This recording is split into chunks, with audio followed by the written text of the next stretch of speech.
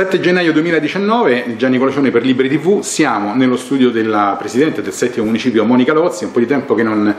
facciamo questa che è appunto un'intervista, una finestra sugli lavori della giunta del settimo municipio, eh, i lavori ovviamente per il 2019 già sono ripresi, sono in piena attività, ci sono alcune cose che sono accadute in questo municipio eh, dall'ultima volta che abbiamo, eh, che abbiamo ascoltato eh, la Presidente. E facciamo un piccolo aggiornamento su queste vicende, poi ovviamente eh, Monica se avrà eh, delle cose di cui io non sono a conoscenza e che magari può far conoscere alla cittadinanza che ci segue su Libri TV, eh, questo, per quanto riguarda questo spicchio diciamo, di sottile ma molto popolato della capitale, eh, insieme ovviamente a tutte le tematiche che riguardano il Consiglio che eh, seguiamo ormai da cinque anni, eh, ovviamente Monica sarà libera di, eh, farci, di farci sapere.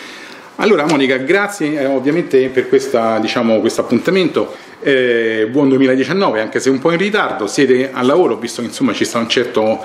eh, una certa attività che probabilmente non, mai, non si è mai sospesa eh, durante queste feste. Io mh, mm, volevo cominciare a parlare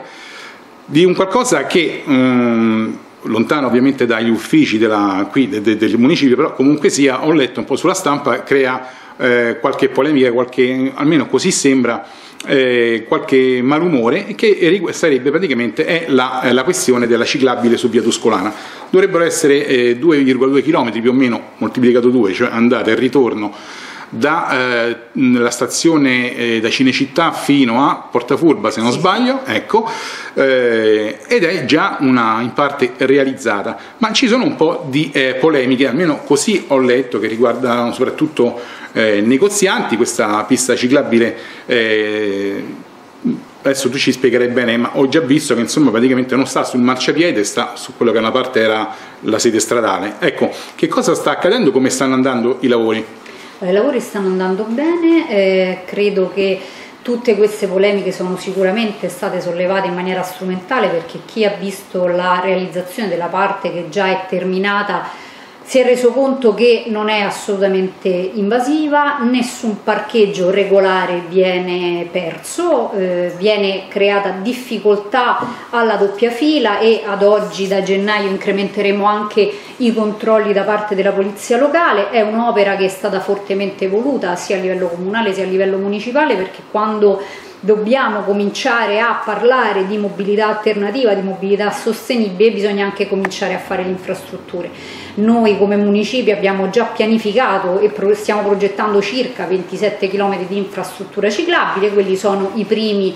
eh, 4 km, due andare e due a tornare, ad esempio abbiamo già in conferenza dei servizi il tratto che va poi da Porta Furba a Stazione Tuscolana, stiamo già lavorando per collegare l'extra gra alla metro Nannina, è già andata a bando la ciclabile che collegherà il lato Tor Vergata Romanina fino alla Palmiro Togliatti, eh, quindi tutte queste polemiche diciamo, eh, che erano un po' sterili, si sono alzati i toni anche in maniera impropria, addirittura è stata distrutta la bicicletta di un cittadino che aveva partecipato ad una commissione, insomma tutto questo polverone per la realizzazione di una ciclabile secondo me è un po', un po troppo strumentale. Quindi tu in qualche modo insomma eh, confermi eh, quello che, dicono, che dice l'assessore alla mobilità Meleo che dice che appunto serve per regolare il traffico limitando la doppia fila e il presidente della commissione mobilità Enrico Stefano che dice che eh, si elimina lo spazio in eccesso che, e quindi serve eh, a ridurre il traffico, poi c'è uno spazio in eccesso e le vetrine si vedono meglio andando in bicicletta, questo per quanto riguarda i negozianti. Allora, assolutamente serve per regolare eh, e ordinare il traffico sulla Tuscolana, è uno strumento che permette a chi vuole utilizzare la bicicletta di poterlo fare in, in sicurezza e passeggiando eh, come pedone sul marciapiede hai una sensazione di avere un po' più di spazio lontano del, dalle auto perché vengono anche leggermente spostati i parcheggi, quindi secondo me va semplicemente ad abbellire una delle più importanti vie commerciali di Roma. E, è prevista anche una, ovviamente bisogna intervenire anche per riorganizzare le ehm, fermate della, degli autobus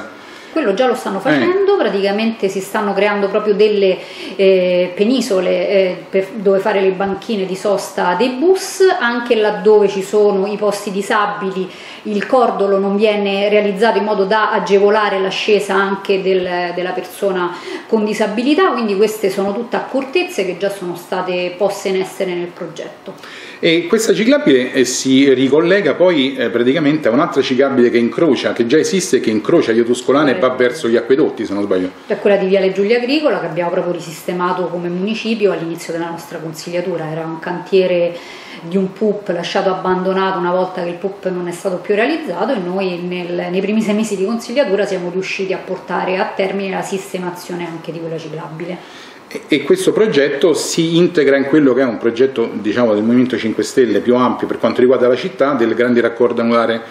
eh, ciclabile? Assolutamente sì, perché eh, il GRAB andrà a interessare la zona di Arco di Travertino e noi di fatti nella prosecuzione verso stazione Tuscolana faremo il tratto di Tuscolana che passa anche ad Arco di Travertino e il comune nel progetto che si va a ricollegare al GRAB si occuperà dell'altra parte di progettazione. Quindi insomma comunque sia bisogna, eh, eh, ci sono delle sinergie anche con il comune che deve in qualche modo contribuire oltre, penso anche sostanzialmente in modo eh, economicamente insomma. Allora, eh, ci siamo divisi i compiti, abbiamo preso la piantina del settimo municipio, abbiamo deciso quello che saremmo andati a progettare come eh, reti ciclabili come municipio e quello che, faceva, che avrebbe fatto comunque il Comune di Roma col Dipartimento Mobilità, ognuno prenderà poi attingerà i fondi dal proprio bilancio, quindi la progettazione e la programmazione che stiamo facendo sulle nostre ciclabili rientrano nel bilancio municipale e quelle che realizzerà il Comune di Roma rientrano nel bilancio del Dipartimento Mobilità. Comunque tutto quanto preordinato, questa sinergia, questa unione di intenti? Assolutamente insomma... sì, abbiamo fatto un paio di mesi fa un incontro preliminare in cui abbiamo deciso chi fa cosa e noi stiamo portando avanti il nostro. Perfetto, no, che Monica Lozzi porti avanti il proprio, io non, non ho dubbi perché insomma la conosco da tempo. Eh, magari su altre persone un po' magari qualche sospetto, qualche dubbio eh, ce l'ho, ma comunque eh, quanto, quando, quando, è prevista la fine di questo diciamo, cantiere, questi lavori? Insomma? Allora, io credo che il termine di tutti i lavori ci vorranno ancora un paio di mesi su, sulla Tuscolana, proprio perché devono lavorare in maniera importante proprio su ogni fermata bus e su ogni posto disabile. Quindi io darei come tempistica almeno un altro paio di mesi di grande cantierizzazione. Ok, allora quindi eh, diciamo, vedremo un pochino come vanno le cose, poi magari eh, ci sarà anche l'occasione di verificare il successo della cosa, insomma la frequenza di ciclisti e così via. E in teoria anche una diminuzione del traffico su via Tuscolana, questo qui è previsto insomma. Beh, allora diciamo che non è che realizzando una ciclabile dalla sera alla mattina tutti cominciamo a prendere la bicicletta, però cominciare a creare delle infrastrutture anche in maniera più ampia nel territorio possono lasciare l'opportunità a chi vuole di utilizzare un mezzo alternativo. Se poi si riuscisse anche ad incrementare un servizio di mezzi pubblici più efficiente di quello che c'è ad oggi, il tutto potrebbe essere più funzionale alla riduzione del traffico privato sulle nostre strade. Adesso eh, quanto riguarda i mezzi pubblici eh, ci arriviamo. Per chiudere questa cosa della ciclabile io sinceramente ho un, diciamo, un quesito da rivolgerti che è quello della sicurezza, cioè la sicurezza dei ciclisti che percorrerebbero questa ciclabile, che percorreranno questa ciclabile in una strada dove ogni 40-50 metri ci sta un incrocio, una confluenza di una strada. E quindi sostanzialmente lì poi ci sta una questione di precedenza, chi passa, chi non passa, il ciclista non è un motociclista, sappiamo che insomma forse perché sono anche abituati so, alla caffarella, andare con una certa libertà e anche con una certa velocità, ecco, non pensi che si possano creare delle situazioni di pericolo? Vabbè, ci sono ciclisti che sono assolutamente abituati a girare sulle nostre strade, la differenza è che ad oggi la possono fare in una corsia riservata, fino ad oggi lo hanno fatto insieme alle automobili, anche per i ciclisti vige il codice della strada, quindi ognuno eh, di noi e tutti coloro che utilizzano questo strumento sanno laddove si devono fermare, laddove devono dare le precedenze, a dove devono guardare, quindi insomma in generale andiamo a mettere in sicurezza un percorso che ad oggi viene effettuato esclusivamente in mezzo al traffico urbano. E, senti Monica, il, a novembre, mm, ormai parliamo dello scorso anno, in mm, via del Quadraro eh, è successo qualcosa di importante. Il 21 c'è stato un abbattimento di alcune case eh, che erano dove abitavano i Casamonica, ormai è una cosa abbastanza nota. Io una mattina sono passato lì perché peraltro ci stava il consiglio, era se non sbaglio un giovedì o un martedì, insomma era il giorno del consiglio che seguiamo ormai da tanto tempo, del consiglio del settimo municipio e c'era sostanzialmente una sorta di militarizzazione complessiva per motivi di sicurezza, si è parlato di 600 agenti, tre vigili, quello che era, insomma sono stati, ci sono stati questi abbattimenti, è stato una cosa, insomma, un ripristino della legalità sostanzialmente. Ecco, io volevo chiederti, visto che sono passati poi i ministri e quant'altro, poi poco dopo c'è stata la restituzione di un'area eh, non lontano da qui, sempre parla che riguardava di Casa Monica, ehm, alla Romanina se non sbaglio, eh, e lì si sono visti anche un, un, una sorta di vetrina, ministri per, per il governo e quant'altro, ruspe eccetera, ministri sulle ruspe. Ecco, io volevo chiedere, mh, mm, qui, eh, nell'occasione appunto degli abbattimenti in via del Quadraro, qual è stata la parte del municipio, quale quella del, eh, del comune? Diciamo che l'abbattimento degli abusi edilizi nel Comune di Roma spetta ai municipi, è competenza dei municipi noi quando ci siamo insediati abbiamo ripristinato dei bandi che non erano mai stati fatti per dedicare delle somme alla lotta all'abusivismo edilizio. Nel primo anno ci siamo occupati di rimuovere gli abusi all'interno delle strutture eh, comunali insistenti nel municipio. Il secondo anno abbiamo cominciato ad andare sull'edilizia privata. Logicamente abbiamo preso eh, come primo obiettivo eh, Via del Quadraro per, proprio perché erano immobili non sanabili anche perché gli atti amministrativi nella maggior parte di quegli immobili si erano già perfezionati nel 1997, in più andavano ad aggredire uno dei più importanti beni archeologici de, di Roma Capitale e quindi abbiamo deciso di eh, fare questo bando, di eh, aprire... Mh, questo tavolo anche con la prefettura per organizzare logicamente l'intervento e siamo riusciti ad arrivare a queste demolizioni. Noi già anche nel 2019 interverremo sugli abusi edilizi, logicamente di tutti, non solo di, di quella famiglia, perché è giusto, è un'attività che il comune deve fare anche per garantire il rispetto della legalità e delle leggi. Sì, la cosa incredibile effettivamente è che dal 1997 le cose erano sì. abbastanza chiare e c'è voluto tutto Solo, questo tempo. C'erano atti esecutivi, c'erano delle DD in cui si diceva con priorità assoluta e sono passati 21 anni proprio perché c'era la priorità assoluta. Sono passati 21 anni, però insomma eh, adesso una piccola nota che io userei di, di costume, eh, che vorrei farti commentare, insomma il, il Ministro degli Interni sulla Ruspa eh, si è visto sicuramente alla restituzione che c'è stata sì, eh, nel, vicino alla Romanina sì. fatto da Zingaretti eh. alla, a Campo Romano era una villa che era già libera da anni e che, la, che aveva preso in carico la regione come bene confiscato e che ha deciso di demolire là eh, l'intervento è stato fatto dall'esercito, dalla regione il ministro è salito sulla ruspa. Io sinceramente non sono molto d'accordo a queste manifestazioni così esagerate, anche perché sono degli interventi istituzionali e devono mantenere il contegno istituzionale che è dovuto. Sì, poi peraltro si tratta di cose eh, avvenute per quanto riguarda qui la questione del quadraro con un ritardo che è una cosa certo. quasi incredibile è comunque sia una demolizione, cioè di un qualcosa che non si sarebbe neanche dovuto costruire lì, quindi insomma non è che una casa poi si costruisce dall'oggi al domani, qualcuno in qualche modo non ha visto, per usare un eufemismo, quindi insomma vabbè comunque ognuno poi, sì, eh, ognuno fa la propria propaganda proprio... come, vuole, come vuole. Senti, queste aree eh, appunto del quadraro, sì. ho letto che una parte sono addirittura delle ferrovie sì. e ancora ho visto passando che stanno portando via dei, dei materiali, eh. verranno eh, ripristinati eh, i luoghi, verranno restituiti, che cosa ci si farà noi, di quei luoghi? Sì, noi intanto là andremo a rimuovere tutto perché ad oggi stato, sono state portate via le macerie relative alle abitazioni, bisogna rimuovere anche il pavimentato a terra stiamo intervenendo anche con la sovrintendenza per andare a sistemare l'acquedotto che ha subito dei danni importanti, dopodiché quell'area eh, ritorna alla fruizione pubblica, logicamente le ferrovie si occuperanno della messa in sicurezza del loro tratto e noi dovremo preoccuparci come comune di mettere in sicurezza mh, la parte di nostra competenza. È un'area non ben collegata al resto del parco, quindi creare lì parchi parco, giochi o parco tor fiscale, di che parla? Ecco, ok. tor fiscale. Quindi creare lì un'area giochi o quant'altro non ha molto senso perché è un po' isolata, però sicuramente bisogna metterla in sicurezza affinché nessun altro poi si vada ad insediare in maniera impropria in quella zona. Peraltro lì appunto, come dicevamo, passa una ferrovia, questo adesso mi è venuto in mente adesso, ci sono due ponti ferroviari, Sì. ecco, ma mm, che condizioni stanno? Adesso è una domanda che non posso fare al Presidente del Municipio, però sai, con i ponti eh, purtroppo siamo un po' sensibili. No, allora, so che Ferrovie ha fatto tutti i controlli, li, ha- li faceva anche precedentemente, logicamente il rischio che si correva è che in quell'area spesso veniva utilizzata il lato ferrovie magari per,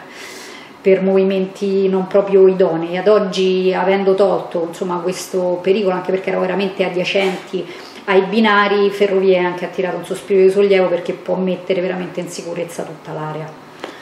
Bene, senti, mh, qualche domanda anche sul, ehm, per quanto riguarda i trasporti, mh, lo diciamo per chi ci segue, eh, è in corso il- la finestra di voto dell'Assemblea dei creditori eh, ATAC, eh, che è cominciata il 19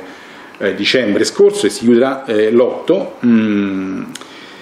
e ovviamente è un tema che ovviamente riguarda tutta Roma, eh, riguarda anche il, il settimo municipio, dove ehm, la situazione vabbè, mh, dei, super- dei mezzi di superficie, adesso ce la direi tu, mh, ci sono stati mezzi che hanno preso fuoco, poi, adesso, poi non so se ci sono delle inchieste, dei dossier della sindaca in corso, che, eh, ma insomma la cosa è abbastanza mezzi di 17 anni. Sì.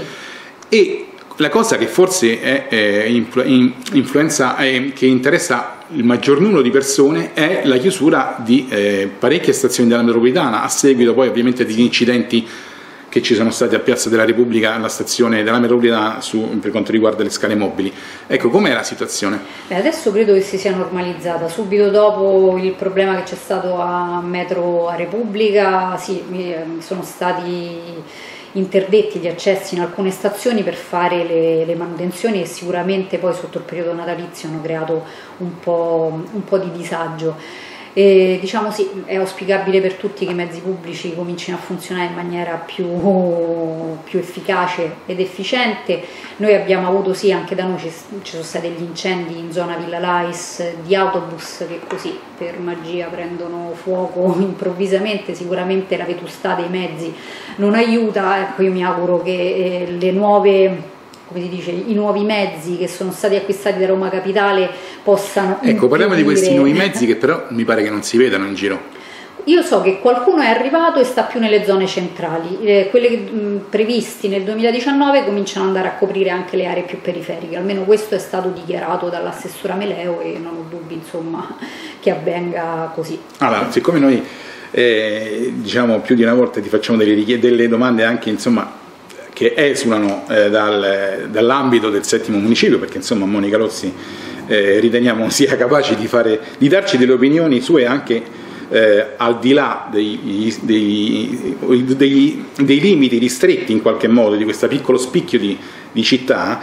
Ecco, noi tu resti sempre dell'opinione, più di una volta mi hai confermato, insomma, l'ATAC è un patrimonio dei romani, così com'è in qualche modo si potrebbe risanare con interventi ordinari. Secondo me l'ATAC si può risanare con interventi ordinari.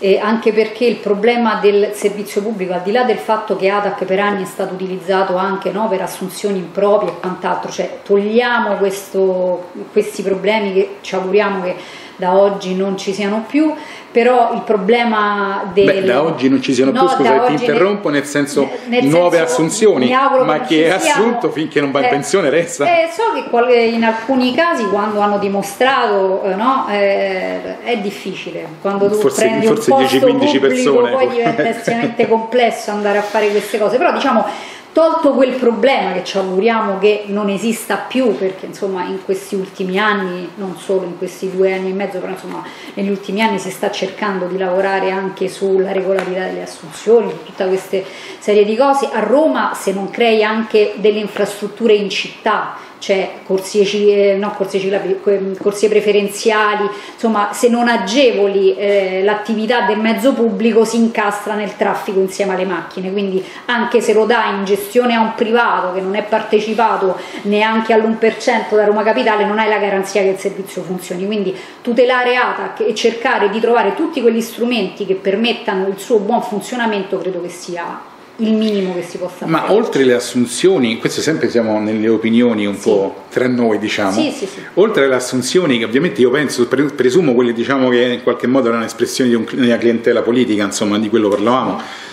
eh, ma insomma ci sono anche parecchi dirigenti che prendono molti molti molti soldi. Assolutamente sì, difatti rivedere il ruolo dirigenziale secondo gli obiettivi secondo me è fondamentale, non ti do uno stipendio intero di centinaia di mila euro annuali, io auspicherei uno stipendio minimo e poi sugli obiettivi raggiunti puoi anche arrivare a prendere cifre importanti, però mi devi portare a casa gli obiettivi sarebbe utile. Quindi una riforma della governance. Assolutamente, quello penso che va bene per eh, tutte le okay. partecipate, eh, anche per Ama. Certamente adesso parliamo anche di Ama. No, no, sì, senz'altro. No, quello che io torno al discorso di prima, c'è un intervento ordinario, cioè il recupero dell'abusivismo, cioè non l'abusivismo di, insomma, di coloro che non pagano il biglietto, mi sembra che poi alla fine sono queste le proposte che si sono sentite mi sembra un po' poco. E tu giustamente accenni a una riforma della governance quello che non si fa con, con, strumenti ordinari. Ecco, diciamo che le, quando uno utilizza lo strumento della partecipata, questa logicamente è un'opinione mia personale, se non trovi un sistema per governare lo strumento della partecipata in maniera onesta e anche insomma abbastanza dura, anche con sanzioni e quant'altro, il rischio è che viene identificata sempre con il comune e quindi la priorità non è più offrire un servizio ai cittadini degno, ma andare a tutelare no, tutta la struttura della partecipata. Comune di Roma per dar lavoro alle persone che ci lavorano. È un po' come sono sempre ecco, stati fino adesso poi un cane si morde i servizi coda, per l'impiego. Me, insomma. il Comune la prima cosa che deve fare è garantire un servizio efficiente. Logicamente una volta che hai creato una struttura di una partecipata con tutti i dipendenti vai a tutelare anche il lavoro, ma la priorità ce l'ha sempre il servizio che devi offrire ai cittadini. Sì, sì, sì, no. adesso io mi ricordo appunto che peraltro proprio in questo municipio insisteva una volta l'ex collocamento. Sì, che sta ancora eh, dietro. Sì, una volta stava su Via Appia vicino vicino, a, a cinema, vicino dove sta adesso il centro commerciale Appio, insomma da quelle parti ed era una cosa che serviva per dar lavoro alle persone e siamo comunque sia in temi di attualità perché insomma a livello nazionale ci sono delle proposte, vedremo come va. Parliamo mh, di Ama, eh, anche lì ci sono stati di recente proprio eh, con la riapertura delle scuole eh, alcune campanelli d'allarme, l'associazione dei presidi eh, diciamo in qualche modo ha, ha, detto che era una situazione in molti luoghi abbastanza insostenibile e da un punto di vista igienico problematica tant'è vero appunto che si minacciava la non riapertura delle scuole. Ora, in questo territorio la situazione appunto della, dei rifiuti, eh, vabbè, lo accenniamo, eh, resa più grave a quanto pare dall'incendio che c'è stato al TMB del Salario, che ha reso già una, una, situazione che era già problematica quasi drammatica. Ecco, qui com'è, com'è la situazione? No, noi abbiamo avuto le criticità come su tutta Roma, ne abbiamo ancora, io purtroppo ho la zona del Tuscolano, Don Bosco, Cinecittà Est che sono estremamente critiche eh, noi non abbiamo avuto grandissime criticità all'interno delle scuole per lo smaltimento dei rifiuti scolastici, diciamo, ma all'esterno sì, perché alcuni marciapiedi erano impraticabili e quindi abbiamo lavorato con AMA affinché fosse ripristinata eh, l'igiene e la pulizia almeno nei, nei pressi degli istituti scolastici. Il, le difficoltà sono ancora evidenti. Noi come municipio abbiamo chiesto l'applicazione del contratto di servizi al Dipartimento Ambiente, la verifica del livello qualitativo del servizio offerto da AMA perché dobbiamo dare delle risposte. Insomma, sono passati due anni e mezzo. Roma sta lavorando a livello comunale, ma purtroppo le indicazioni politiche che vengono date poi all'azienda AMA non si traducono in servizi efficienti e quindi noi in settimana avremo anche un incontro dedicato al municipio proprio per capire il perché alcune zone non riescono ad essere servite in maniera sufficiente dalla raccolta dei rifiuti, così come invece in altre parti del, del municipio invece il servizio è sicuramente molto più diciamo. Senti, eh, riguardo a questo, come commenti, che pensi che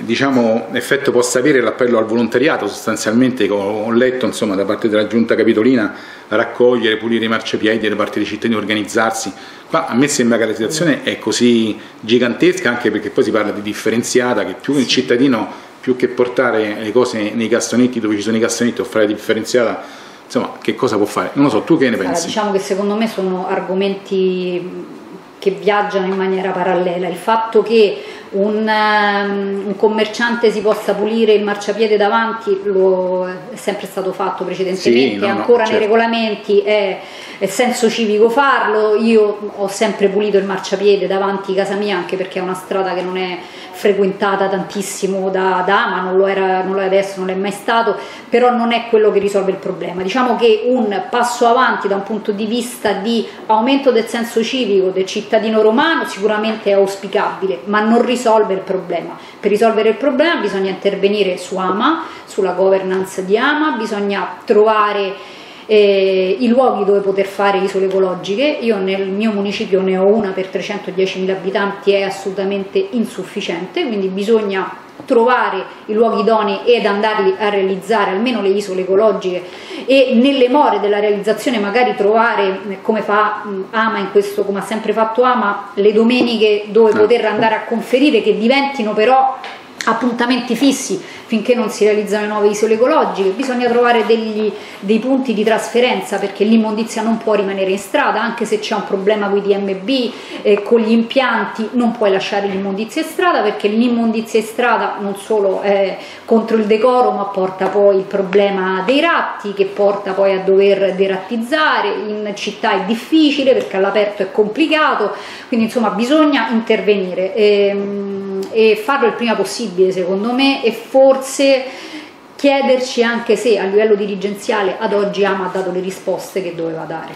Il fatto della scelta dei luoghi è fondamentale eh, perché poi ci sono dei luoghi che dovrebbero essere scelti per e destinati a qualcosa. Ecco, per esempio il TMP era diventato una mezza discarica sì. e, e, alcuni problemi venivano anche da quello, oltre l'odori, gli odori vari e così via poi lì adesso so, ci sono delle indagini in corso, c'è stato un incendio e si è reso tutto inutilizzabile.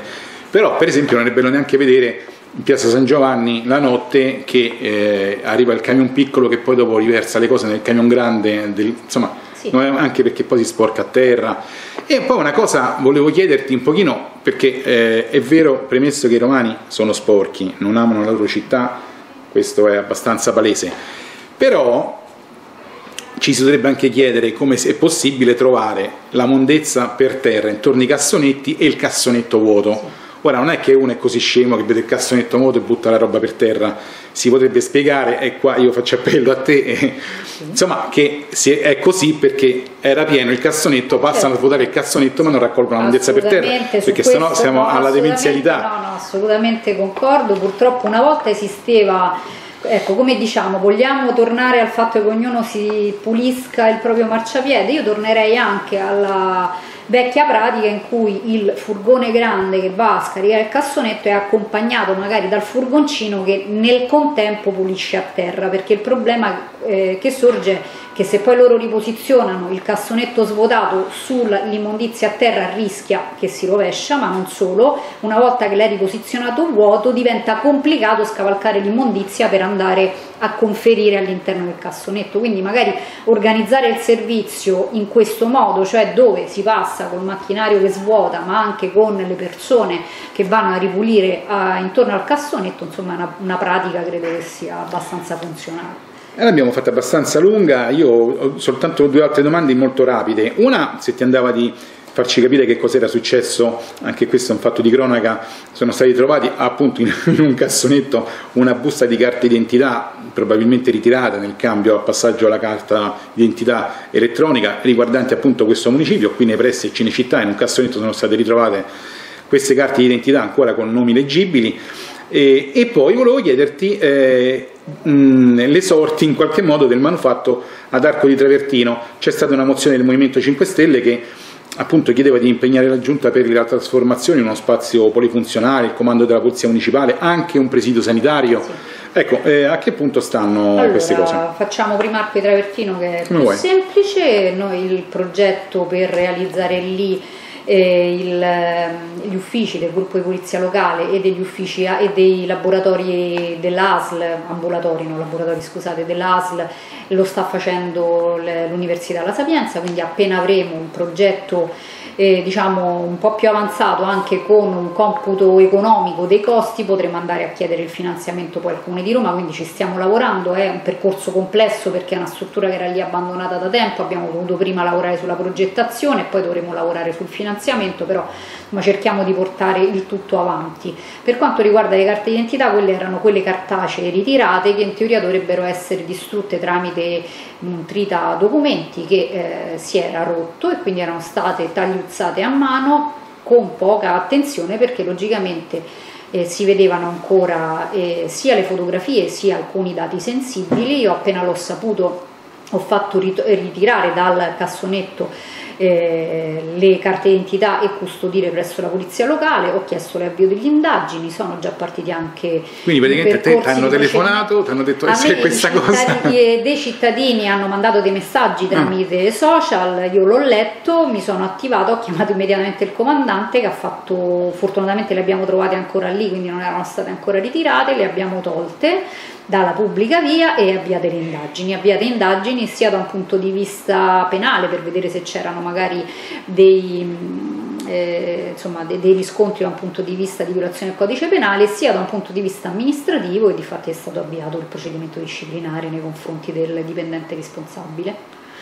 Perfetto, io penso che di aver detto tutto, se tu hai qualcosa da aggiungere per quanto riguarda insomma, Guarda, noi qua qui. lo sai di lavori ne stiamo facendo, facendo tante, tra strade, piazze, stiamo intervenendo nelle scuole, insomma noi quello che è di competenza nostra lo stiamo facendo e lo stiamo facendo anche abbastanza bene. Il decentramento amministrativo. Ah, beh, sì, questa, è, è, questa è, una battaglia che un po' tutte le giunte di Quella, qualsiasi colore vengono, allora, eh, che sento. Questa però sì, è sì, una battaglia che dobbiamo cercare di concretizzare in maniera un po' più rapida, anche per rendere più funzionale Roma, eh, perché non è solo una questione di agibilità maggiore del municipio. Definendo le competenze, definendo in maniera netta chi fa cosa, sgravi anche il centro da alcune competenze che per loro secondo me sono assolutamente banali, no? può essere un dipartimento un decentramento... si debba preoccupare di una buca. Certo, un decentramento diciamo alla Parigi, diciamo tu... Ma guarda, a livello, a livello europeo, io adesso non so nello specifico come funziona Parigi, noi abbiamo analizzato un po' Londra che potrebbe essere abbastanza Mm, insomma, si potrebbe eh, adattare a Roma, ci sta anche Berlino che ha un buon decentramento, però diciamo che già con le normative eh, in essere, senza fare grandissime riforme neanche a livello centrale, diciamo che già potremo andare a ridefinire a ridisegnare Roma così com'è, utilizzando le strutture che ci sono, dividendo bene le competenze. Roma a livello centrale, da capitale europea, si deve occupare di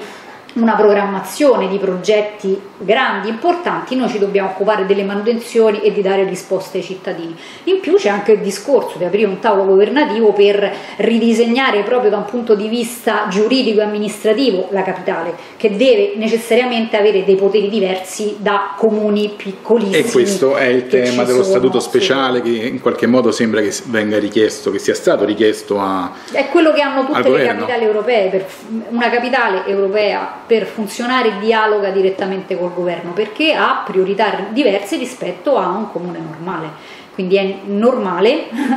che per poter funzionare una capitale debba dialogare senza doversi interfacciare prima con la regione, seguendo tutta una serie di meccanismi che sono tipici anche del piccolo comune da 15.000 abitanti. Perfetto, allora ringraziamo Monica Lozzi, le auguriamo buon lavoro e a risentirci. Grazie a tutti, buon anno.